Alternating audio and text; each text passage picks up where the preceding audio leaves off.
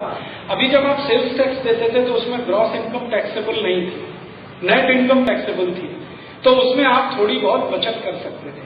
बचत करने को सरकार कहती है, कर चोरी। और मैं उसको कहता हूँ, बचत। सरकार उसको कर चोरी कहती है कि आप टैक्स इवेजन कर रहे हैं, और मैं मानता हूँ कि आप इस देश की डोमेस्टिक सेविंग्स बढ़ा रहे हैं। अगर आप टैक्स नहीं भर रहे हैं तो आप इस देश की बचत बढ़ा रहे हैं। सरकार कहती है कि कर चोरी कर रहे हैं। मैं कहता हूँ कि आप टैक्स सेविंग्स वो करने से इस देश की बचत बढ़ाते हैं। कैसे? हिंदुस्तान के जो लोग टैक्स में पैसे कटौती करते हैं या टैक्स नहीं भरते हैं या टैक्स की चोरी करते हैं, जो भी शब्द इस्तेमाल करें, वही लोग सबसे ज़्यादा डोनेशन देते हैं। वही लोग सबसे ज़्यादा डोनेशन महाराज जी, मेरे बहुत दोस्त हैं जो हर साल इनकम टैक्स की चोरी करते के लिए उनके घर में चार चार चार्टेड अकाउंटेंट हैं, जिनको महीने का पचास हज़ार रुपए का सैलरी देते हैं। इनकम टैक्स नहीं जाना चाहिए। मैं उनको कहता हूँ, भाई, तुम इतना खर्चा चार्टेड अकाउंटेंट पे करते हो और इतना दान में भी देते हो, रोज का एक लाख रुपए का दान दे सकते हैं। इनकम टैक्स नहीं देते। रोज का दो लाख रुपए का दान दे सकते हैं, इनकम टैक्स नहीं देते। मैं जानता हूँ। मेरे बहुत अच्छे मित्र हैं, जैन समाज में ही हैं, जो रोज का दो लाख रुपए दान देते हैं, तीन लाख रुपए देते हैं, चार लाख रुपए देते हैं। साल का उनका जो टोटल डोनेशन है ना, वो मैंने दिन में डिवाइड कर दिया। तो रोज का दो लाख, तीन लाख, चार लाख, पाँच लाख रुपए तक डोनेट करने वाले लोग इनकम टैक्स नहीं भरते। क्यों? मैंने एक दिन उनसे पूछा। उसमें से कई लोग तो मुंबई में तब उन्होंने मुझे बहुत गंभीर बात किया और उस दिन से मैं उनको सल्यूट करता। मैं उनको प्रणाम करता हूँ। सरकार उनको टैक्स चोर कहती है, मैं उनको सल्यूट करता हूँ। वो कहते हैं, राजीव भाई, भारतीय संस्कृति में कुपात्रों को दान नहीं देते।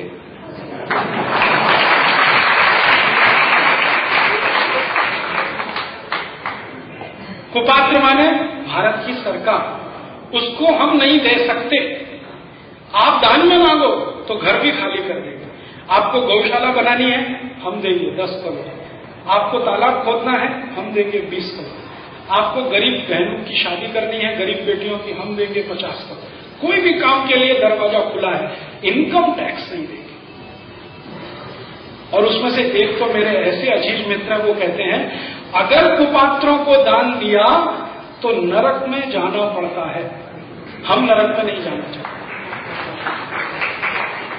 अर्थात बात बिल्कुल सीधी सीधी है कि सरकार के टैक्स के पैसे को चोरी करके वो दान में देते हैं। और इसका अर्थ क्या हुआ?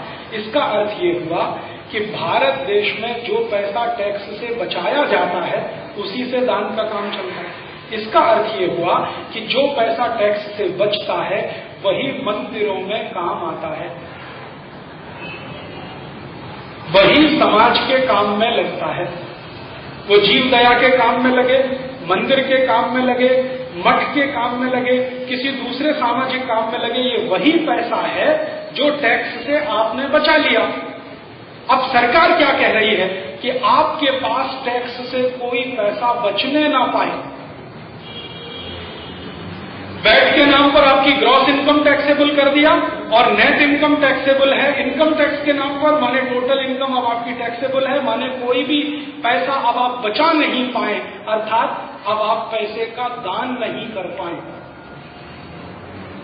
अर्थात पैसे का दान न हो तो मंदिर और मंदिर से जुड़ी हुई संस्थाएँ ना चले। अर्थात मंदिर और मंदिर से जुड़ी संस्थाएँ ना चले तो धर्म का काम बंद हो। अर्थात आप सब ईसाई बनने के लिए तैयार हो।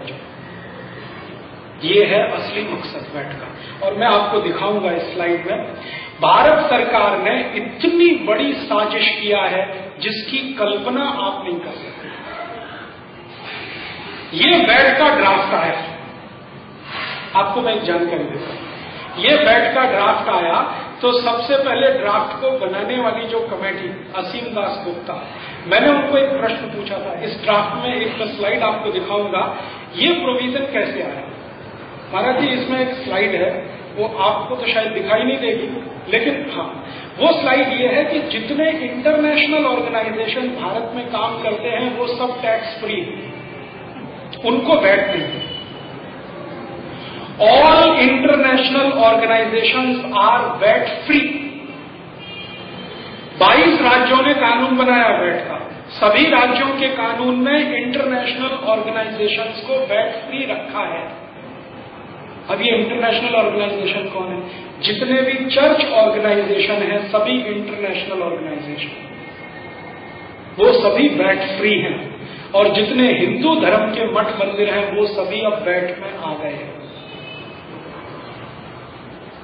और ये परिवर्तन किस दिन आया? जिस दिन मनमोहन सिंह इस देश का प्रधानमंत्री बना। उसी दिन ये प्रोविज़न डाला गया। इसके पहले एक ड्राफ्ट बना था। वो बनाया था, अटल बिहारी वाजपेयी की एक सरकार चलती थी ना, उसमें एक वित्त मंत्री थे, उनका नाम था जसवंत सिंह। और थोड़े दिन एक वित्त मंत्री रहे यशवंत सिन्हा। उनके समय में जो ड्राफ्ट बनाया गया, उसमें ये प्रोविज़न नहीं था। आप जरा ध्यान देना। इंटरनेशनल ऑर्गेनाइजेशंस को वैट से अलग रखना, ये मनमोहन सिंह के प्रधानमंत्री बनने के बाद इसमें डाला गया। मनमोहन सिंह इस देश का प्रधानमंत्री नहीं है, सोनिया गांधी इस देश की प्रधानमंत्री है। क्योंकि मनमोहन सिंह इस बात को दो बार अपने मुँह से कह चुका है कि मैं तो मैडम का प्रधानमंत्री हूँ। वो पब्लिक मीटिंग में बोला ऐसे नहीं बोला है। एक बार पब्लिक मीटिंग में बोला है और एक बार प्रेस कॉन्फ्रेंस में बोला है। जिस दिन मनमोहन सिंह की पहली प्रेस कॉन्फ्रेंस हुई थी दिल्ली में, उसी दिन उसने कहा था, मैं मैडम का प्रधानमंत्री और मैडम बगल में बैठी पत्रकारों ने कहा, आप भारत के प्रधानमंत्री नहीं नहीं, मैं मैडम का प्रधानमंत्री अर्थात, जैसे मैडम कहेगी, वैसे ही मैं करूँगा। मैडम कौन है? क्रिश्चियन लॉबी की सरमुख्तियार सोनिया गांधी। तो इंटरनेशनल ऑर्गेनाइजेशंस को बैट फ्री बनवा दिया, एक प्रोविज़न डलवा दिया। सारे चर्च हिंदुस्तान में, वो कैथोलिक्स हो या प्रोटेस्टेंट हो, सभी इंटरनेशनल ऑर्गेनाइजेशन में गिने जाते हैं। मुंबई में जितने चर्च चलते हैं सभी इंटरनेशनल है। मुंबई तो छोड़ो, गाँव के गरीब से गरीब गाँव का चर्च इंटरनेशनल है, क्योंकि उसका जो लिंकेजेस है, वो यहाँ नहीं है, वो बाहर है। एक प्रोविज़न डाल दिया all international organisation are VAT free अर्थात सारी क्रिश्चियन संस्थाएँ वेट फ्री हैं। ठीक है? अब दूसरा मुस्लिम ऑर्गेनाइजेशन बहुत सारे मुस्लिम ऑर्गेनाइजेशन हिंदुस्तान में हैं जो इंटरनेशनल ऑर्गेनाइजेशन क्योंकि वो जुड़े हुए हैं गल्फ कंट्रीज़ के साथ। आपको मालूम है बहुत सारी मस्जिद भारत में बनती है, जिनके लिए पैसा आता है तो वहाँ से आता है। अरब देशों से आता हैं।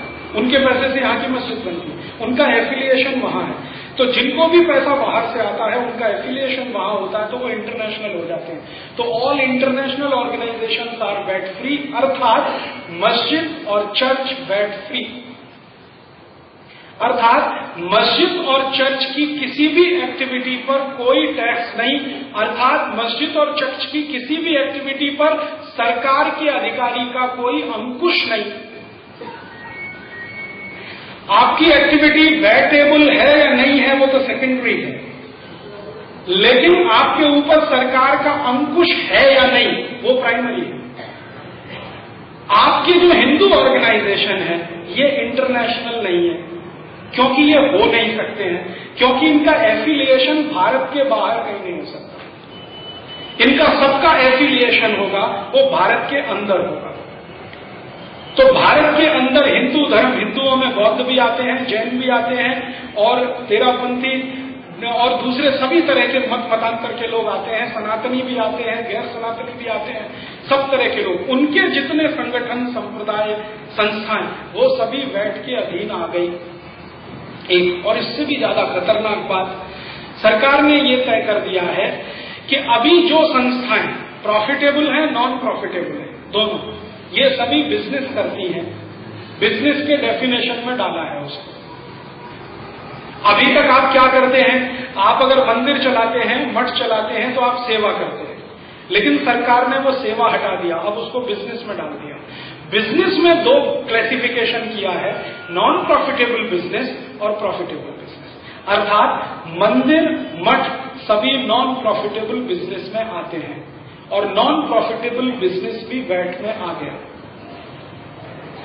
प्रॉफिटेबल बिज़नेस तो आ ही गया है नॉन प्रॉफिटेबल बिज़नेस भी आ गया अब इतनी बातें ध्यान में रखकर अब आप जरा देखिए ये स्लाइड्स इसमें मैं आपको दिख भैया ऑन करो जरा। हाँ। ये तो मैं ये हाथ में ले सकता हूँ? ये तो बहुत सरल सी बात है, ये परिभाषा है। लेट अंडरस्टैंड दैट जरा नेक्स्ट एंड हाँ। वैल्यू एडेड टैक्स सरकार की डेफिनेशन क्या है? सरकार की डेफिनेशन ये है। ड्राफ्ट में ये डेफिनेशन उन्होंने दिया है।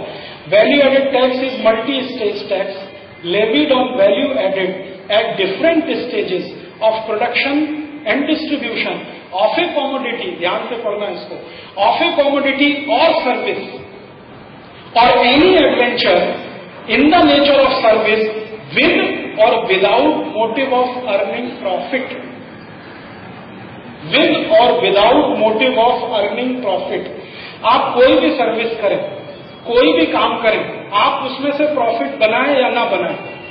सीधी सीधी बात है, आप मंदिर चलाते हैं नॉन प्रॉफिट बिज़नेस है, लेकिन ये बैठ की परिभाषा में है।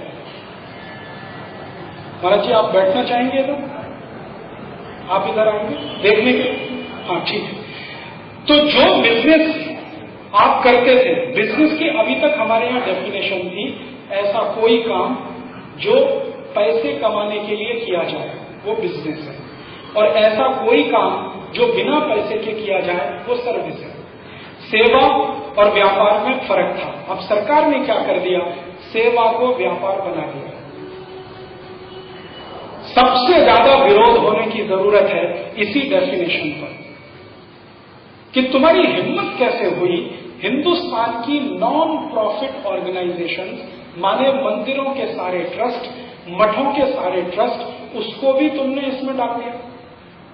और ये बात जब मैंने महाराज जी कई ऐसे सांसदों को कही, जो थोड़े धर्म प्रेमी हैं जो थोड़े जीव दया प्रेमी हैं, जो कभी कभी आप जैसे संतों के प्रवचन सुनने आते हैं, दिल में कहीं कहीं कोई दीपक जलता रहता है, उन्होंने कहा, राजीव भाई, सच में हमको मालूम नहीं ये हो गया।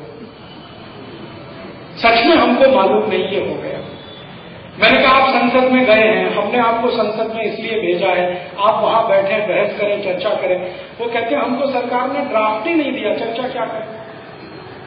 मैंने कहा, तुमने चिल्लाया क्यों नहीं संसद में जितना तुम राबड़ी देवी लालू यादव के लिए चिल्लाते हो, और जितना मुलायम सिंह और मायावती के लिए चिल्लाते हो, तुमको इस पर चिल्लाना चाहिए था कि सरकार ड्राफ्ट नहीं दे रही है ड्राफ्ट नहीं दे रही है, और इतना हल्ला मचाना चाहिए था कि सरकार ड्राफ्ट देती, और समय से पहले देती, और तुम उसमें ये देख लेते, और इस पर संसद में बहस करते, या विधानसभाओं में बहस करते, और इसको निकल पाते ये बहस नहीं हुआ, निकाला नहीं गया, इसलिए टैक्स नहीं आ गया। अब इस डेफिनेशन से आप समझ लीजिए, कोई भी मंदिर कोई भी मठ, कोई भी संस्था जो लूले लंगड़े व्यक्तियों के लिए काम करे जी दया के लिए काम करे, कुछ भी करे, वो सभी बैठ में आ गए। बैठ में आने का मतलब ये है, अधिकारी वर्ग का शिकंजा अब आपके ऊपर आ गया। अब कोई भी अधिकारी कभी भी आ सकता है। आपके ट्रस्ट के सारे अकाउंट चेक कर सकता है। और आपने अगर अकाउंट में कुछ खर्चा दिखाया हुआ है कि हमने तो इतना पैसा खर्च किया, कबूतरों को दाना डालने के लिए तो आपके ऊपर क्वेश्चन कर सकता है। अब आपको उसका जवाब देना पड़ेगा। और बैठ के नियमों में सबसे खतरनाक है महाराज जी, हर बार ऑफिसर को कन्विंस आपको करना पड़ेगा। You have to convince him वो कोई भी क्वेश्चन करे you have to convince him और उसको कन्विंस होने में क्या क्या लगता है, वो आप समझाते हैं। किसी भी टैक्स कमिश्नर को कन्विंस होने में क्या क्या लगता है, वो आप तो मुझसे बेहतर जानते हैं। मैं तो कुछ धंधा व्यापार नहीं करता हूँ। जो लोग धंधा व्यापार करते हैं, वो मुझे बताते हैं कि राजीव भाई टैक्स कमिश्नर को कन्विंस करना, आप समझ लो, दुनिया का सबसे मुश्किल काम उसको पैसा लगता है कन्विंस होने के लिए, घूस लगती है रिश्वत लगती है सिर्फ़ घूस और रिश्वत तक हो, उतनी बात नहीं है, उसके आगे। उसके आगे अगर उसकी नज़र आपकी कार पर पड़ गई, और आपकी कार बहुत अच्छी है तो कन्विंस करने के लिए वो देनी पड़ सकती है। उसकी नज़र आपके किसी फ्लैट पे पड़ गई, और उसको फ्लैट आपका पसंद आ गया तो फ्लैट उसके नाम करना पड़ सकता है। उसकी नज़र आपकी किसी भी चीज़ पे पड़ गई कन्विंस करना पड़ेगा। हमारे बहुत अच्छे अजीब दोस्त हैं जो यहाँ बम्बई में बिज़नेस करते हैं। हज़ार करोड़ से ज़्यादा का उनका टर्न ओवर है। वो कहते हैं राजीव भाई कमिश्नर को कन्विंस करने के लिए डांस बार लगता और डांस बार से भी ज़्यादा लड़की लगती है। रात को देनी पड़ती है, दारू के साथ। तब कमिश्नर कन्विंस होता है। तब जाके आपको दया, प्रेम, करुणा के तहत कुछ क्षमा कर सकता है। नहीं तो आपको रगड़ के रख सकता है। तो ये डेफिनेशन इतनी खतरनाक है। इसका जो अंतिम वाक्य है कमोडिटी और सर्विसेज़ और any adventure in the nature of service with और without motive of earning profit ये सभी अब बैठ में आ गए। नेक्स्ट अभी ये एक सिंपल सा चार्ट बनाया है समझने के लिए। समझने के लिए ये भारत देश में बैठ की पाँच श्रेणियाँ बनाई है। 550 वस्तुओं पर बैठ है। छियालीस ऐसी वस्तुएँ हैं जिन पर वैट नहीं है, जिन पर टैक्स नहीं है। बाकी सभी वस्तुओं पर टैक्स है। और वो टैक्स की दर कैसी है? कुछ वस्तुएँ ऐसी हैं जिन पर एक टका टैक्स है वैट वन परसेंट। सोना, चांदी, सोने चांदी के गहने, हीरे, जवाहरात, बेशकीमती पत्थर पर्ल्स इन सभी पर एक टका वैट है। उसके बाद कुछ वस्तुएँ ऐसी हैं जिन पर चार टका वेस्ट है। चार टका फोर परसेंट फिर कुछ वस्तुएँ हैं जिन पर साढ़े बारह परसेंट है। कुछ वस्तुएँ हैं जिन पर बीस परसेंट है और कुछ वस्तुएँ हैं जिन पर चौंतीस परसेंट तक वैट है। Thirty four percent last limit है जी थर्टी फोर में क्या क्या आता है? जितनी भी मोटर स्पिरिट मोटर स्पिरिट माने डीजल, पेट्रोल, कैरोसिन और जो गैस आप इस्तेमाल करते हैं गाड़ी चलाने में, ये सभी और इनसे निकलने वाले बाई प्रोडक्ट्स। उसकी पूरी एक सूची है, बीस बाईस प्रोडक्ट है, उसमें थर्टी फोर परसेंट तो एक परसेंट वाला तो हीरा जवाहरात सोना, चांदी आदि आदि। चार परसेंट में खाने पीने की बहुत सारी वस्तुएँ साढ़े बारह परसेंट में खाने पीने की बहुत सारी वस्तुएँ बीस परसेंट में बहुत सारी अन्य वस्तुएँ और चौंतीस परसेंट में बीस सबसे ज़्यादा जो टैक्स में वस्तुएँ हैं वो साढ़े बारह परसेंट में उससे कुछ कम चार परसेंट में है और सबसे कम एक परसेंट तीन, जिन वस्तुओं पर वैट नहीं है महाराज जी, वो जरा सुन लें। सबसे ज़्यादा वैट फ्री वस्तु है दारू, शराब। शराब पर वैट नहीं है। शराब को टैक्स फ्री किया है। मैंने एक बुढ़ारी को पूछा कि भाई तुमने ये शराब को टैक्स फ्री कैसे कर दिया? दूध पर है छाछ पर बैठे दही पर बैठे मिठाइयों पर बैठे शराब पर नहीं सरकार क्या चाहती है? दूध मत पियो शराब पियो ताश मत पियो छाछ मत पियो शराब पियो एक पुढ़ारी को मैंने पूछा। और वो पुढ़ारी मंत्री स्तर का मैंने पूछा, भाई, दारू को कैसे बैठ फ्री किया? तो उसने कहा आपको माहिती नहीं है, भारत के जितने भी सांसद हैं, सबके पास दारू के कारखाने जितने भी आमदार हैं, आमदार माने एमएलए एमएलए और खासदार माने एमपी ज़्यादातर एमपी और एमएलए दारू के धंधे में हैं डायरेक्ट और इनडायरेक्ट अगर नाम सुनना चाहें, विजय माल्या। जानते हैं आप? गाँव से खासदार है। दारू का सबसे बड़ा उत्पादक है। किंग फिशर और उसकी पूरी पार्टी है, जनता पार्टी जो दारू के पैसे से चलती है। और ये वही जनता पार्टी है, महाराज जी, जो मुरारजी देसाई के जमाने में बनी थी, जिन्होंने दारूबंदी कराई थी। आपको मालूम है मुरारजी भाई का? मुरारजी भाई के समय में एक पार्टी बनी थी, जयप्रकाश नारायण ने बनाई थी जनता पार्टी। वो जनता पार्टी के प्रधानमंत्री के रूप में मुरारजी देसाई आए थे। और उनकी ताकत से उन्होंने गुजरात में दारूबंदी कराई थी। थोड़े दिन अगर वो रह जाते तो भारत में दारूबंदी करने वाले थे, लेकिन उसके पहले उनको गिरा दिया। तो जो जनता पार्टी बनी दारू का विरोध करने के लिए, आज उस जनता पार्टी का प्रेसिडेंट दारू का सबसे बड़ा धन्यवाद है, विजय माल्या, उसकी पूरा पक्ष दारू से चलता है। तो उन्होंने कहा, जब विजय माल्या जैसे खासदार है तो दारू पे बैठ कैसे आ सकता है? इसलिए बैठ फ्री शराब जो है ना बैठ फ्री उसके बाद दूसरी वस्तु जिस पर बैठ नहीं है, वो है लॉटरी। सब लॉटरी बैठ फ्री लॉटरी पर कोई बैठ नहीं। माने सट्टेबाजी करो और दारू पियो, दोनों टैक्स। माने दोनों में ही मरो और डूबो, इसके लिए बैठ ऐसी कई कई वस्तुएँ हैं जो बैठ और महाराज जी, नमक पर बैठे। हम नमक पर बैठे। और दारू बैठ फ्री है, लॉटरी बैठ फ्री है, नमक जो सबसे ज़्यादा इस्तेमाल होता है, मीठू जो सबसे ज़्यादा इस्तेमाल होता है, उस पर बैठ है। और मुझे बहुत दुख होता है इस बात को कहते हुए। अभी थोड़े दिन पहले भारत में ड्रामा हुआ था, वो आपने देखा सोनिया गांधी ने महात्मा गांधी के मीठू सत्याग्रह का पिचहत्तरवा साल मनाया। देखा सोनिया गांधी दांडी मार्च में गई साबरमती आश्रम गुजरात से शुरू हो गए और दांडी समुद्र तक उसके साथ राहुल गांधी गया, प्रधानमंत्री गया, पूरा कांग्रेसी लोग गए। क्या करना? महात्मा गांधी को याद करना है। क्यों? उन्होंने मीट सत्याग्रह किया था और मीट का टैक्स हटाया। वो महात्मा गांधी का मीट सत्याग्रह का याद करने के लिए फिर से एक यात्रा निकाली और उसमें मीट पर टैक्स लगा मुझे बहुत दुख है ये कहते हुए। गांधी जी के शरीर का हत्या नासुराम गोडसे ने किया था। गांधी जी के विचार का हत्या तो ये गांधीवादी लोग को लगा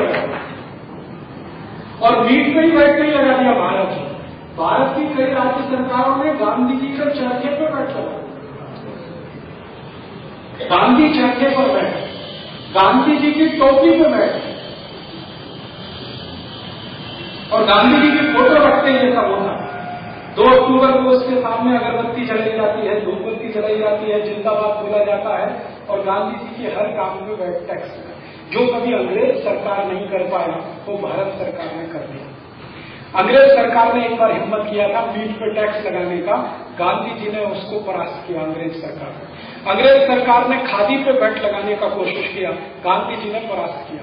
लेकिन गांधीवादी सरकार जो इस देश में चल रही है, वो खादी पे भी बैट लगा दिया, चरखे पे भी लगा दिया, टोपी पे भी लगा दिया, मीट पे भी लगा दिया, ये सब वस्तुओं पर चार टका बैठ है।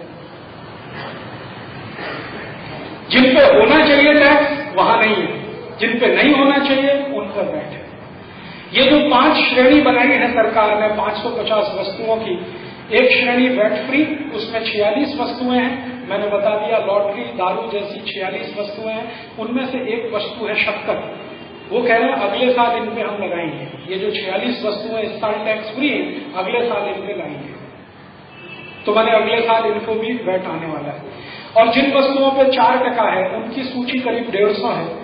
जिन पर साढ़े बारह टका है, उनकी सूची करीब एक सौ पिचहत्तर से आगे है और बची हुई पर 20 और 34 परसेंट है। ये है टैक्स का रेट अब इसमें नेक्स्ट भैया ये एक मिनट ये स्लाइड में आपको सिर्फ़ इसलिए दिखाने के लिए, ये लगेगा कैसे टैक्स मान लीजिए कोई वस्तु है ए उसकी परचेज प्राइस है सौ रुपया और उस पर टैक्स है चार परसेंट। ठीक है? तो चार परसेंट वैट लगने के बाद उसकी जो नेट परचेज प्राइस हो जाएगी वो एक सौ चार रुपये ठीक है? इसमें टैक्स कितना है? चार रुपए। अब यही वस्तु को अगर डेढ़ सौ रुपए में बेच दिया जाए, आपने खरीदा एक सौ चार रुपए। वस्तु की कीमत है सौ रुपया। अब वो वस्तु को आप बेचते हैं डेढ़ सौ रुपए में। ठीक है? तो टैक्स कैलकुलेशन उसके हिसाब से। और जो टैक्स पेबल है, वो नीचे, फिर सेट ऑफ़ जो ऑलरेडी पेड आपने कर दिया है, वो नीचे, फिर नेट टैक्स जो पेबल है, वो ये। एक चार्ट के माध्यम से ये समझा है। और इसमें चार पाँच वस्तुएँ लिया है। एक वस्तु ले लिया, दो सौ रुपए का है, आठ परसेंट है, दूसरा ले लिया, तीन सौ रुपए का है, बारह परसेंट है, ऐसे करके ये समझा है। ये कोई खास बात नहीं है, आप सब जानते नेक्स्ट भैया नेक्स्ट अच्छा अब इसको एक दूसरे तरह से समझा आपकी मान लीजिए परचेज ऑफ़ द मंथ मोटी, एक लाख रुपए। एक महीने में आपने एक लाख रुपए का खरीदी किया। उसी महीने में आपने जो टैक्स पे किया परचेज पर, चार परसेंट अगर मान लीजिए दर है तो चार हज़ार रुपए। ठीक है? फिर अगर आपने सेल किया उसी का, डेढ़ लाख रुपए। तो फिर डेढ़ लाख रुपए पर टैक्स और जो डेढ़ लाख पर आपने टैक्स दिया और एक लाख पर शुरू में दिया, अब उसको घटाया जाएगा। तो जो निकलेगा, वो नेट वैट आपको पे करना नेक्स्ट अब जो वैट आया है, उससे परिवर्तन क्या क्या किया इन्होंने? बहुत सारे, जो टैक्स कानून हटाने की ज़रूरत थी, वो नहीं हटा और जो फालतू के थे, उनको हटा दिया। मेजर चेंजेस अभी हमारे यहाँ क्या था? सेल्स टैक्स था ना? तो वो वन पॉइंट टैक्स था। अभी वैट लाके मल्टीपुल पॉइंट टैक्स कर दिया। सबसे बड़ा चीज़ कोई टैक्स आप एक बार दे दें, वो सरल है या बार बार भरेंगे, वो सरल है? एक बार भरेंगे। तो सरकार कितना बड़ा झूठ बोल रही है कि वैट आने के बाद सरलता बढ़ेगी। सरलता नहीं, कठिनता बढ़ेगी। फिर उसके बाद reduce number of rate slabs leading to reduce number of classification disputes ये सरकार कहती है ये मैं नहीं मानता। सरकार के ड्राफ्ट में कैसे कहा गया? Full set off as again set off with retention ranging 4.5 percent to 5.5 percent shift from audit assessment to self assessment इसका इतना बड़ा झूठ है, ये सेंटेंस सरकार कह रही है कि सेल्फ असेसमेंट का पूरा है। तो आपने अधिकारियों को क्यों बिठा दिया हमारे ऊपर? अगर सेल्फ असेसमेंट ही है, हमने जो कह दिया, वो आप मान लो, फिर अधिकारी क्यों उसको क्रॉस चेक करें? क्यों उसको वेरीफाई करें? क्यों क्रॉस वेरीफाई करें? इसका माने यह है कि झूठ बोल के आपको फंसाना यूरोप में जहाँ भी सेल्फ असेसमेंट में है, बैठ, वहाँ अधिकारी कुछ नहीं पूछ सकता आपसे। आपने डिक्लेयर किया, इतना टैक्स बनता है, बात खत्म हो गई। उसके बाद कोई आपसे कॉमा फुल स्टॉप में बात नहीं करेगा। इवन ये गल्फ कंट्रीज़ है ना छोटे छोटे संयुक्त अरब अमीरात, कुवैत, बहरीन, ओमान, इन देशों में भी व्यापारी जो कह दिया, बात खत्म हो गई। कोई अधिकारी आपसे नहीं आके पूछेगा, आपने सही कहा या झूठ कहा। माना वहाँ यह जाता है कि व्यापारी जो कह रहा है, वो सच ही है, क्योंकि वो देश का नागरिक है। हमारे यहाँ इसका ठीक उल्टा है। हमारे यहाँ ये माना जाता है कि व्यापारी सब झूठ है, चोर है, बेईमान है, डकैत है। इसलिए अधिकारी को उसके ऊपर बिठा दिया, जो ईमानदार है, कर्तव्यनिष्ठ है, सत्यनिष्ठ है, जो महाहराम को है। ये जो अधिकारी वर्ग को सरकार ईमानदार, कर्तव्यनिष्ठ बताती है, वो अधिकारी वर्ग की असलियत अभी आपने देखी होगी। थोड़े दिन पहले हमने टीवी चैनल पर एक सीरियल देखा। घूस महल, उसका नाम घूस महल। और वो दिखाया आज तक टीवी चैनल उसमें एक बात उन्होंने बताई कि दिल्ली का सेल्स टैक्स कमिश्नर डिपार्टमेंट में कैसे घूस ली जाती है और दी जाती है। वो मैंने देखा। दिल्ली का सेल्स टैक्स डिपार्टमेंट महाराज जी, जिसका नाम अभी वेट डिपार्टमेंट हो गया है, उसका ऑफ़िस जहाँ पर है, उसके ठीक ऊपर विजिलेंस कमिश्नर का ऑफ़िस है। विजिलेंस कमिश्नर का काम है घूसखोरों को पकड़ना, भ्रष्टाचारियों को पकड़ना, उसके नीचे सेल्स टैक्स कमिश्नर का ऑफ़िस है जहाँ भयंकर घूसखोरी चलती है। और मैंने मेरी आँखों से देखा, तिरासी अधिकारी 83 ऑफिसर्स को हाथ से पैसा लेते हुए, रिश्वत लेते हुए घूस लेते हुए, और अपने खीसे में रखते हुए लिया खीसे में रखा, लिया खीसे में रखा। और उसने बहुत इंटरेस्टिंग तरीके से दिखाया। सवेरे वो अधिकारी आते हैं, नौ बजे ऑफ़िस में। सबका खीसा खाली होता है। कुछ नहीं होता खीसे। हाँ पॉकेट भी नहीं होता, खाली खीसा होता है। और थोड़ा कुछ दो पाँच रुपया हो तो काउंटर पे रख देते हैं।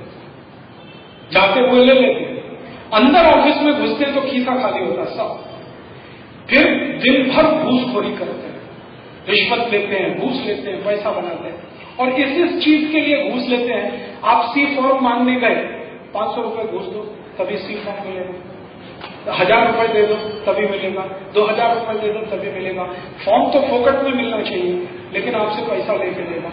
और उसमें फिर बंटवारा, ऊपर से नीचे। आपकी कोई फ़ाइल है, इस मेज पर है, यहाँ से आगे लेके जानी है पाँच हज़ार रुपए। आगे से और आगे ले जानी है दस हज़ार रुपए।